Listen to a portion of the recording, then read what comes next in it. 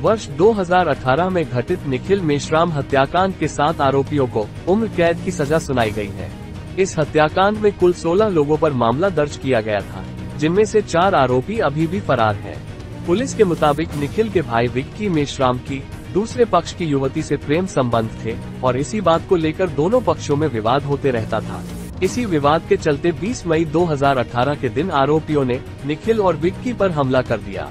हमले के दौरान विक्की गंभीर रूप से घायल हुआ था, जबकि उसके भाई निखिल की मौत हो गई थी।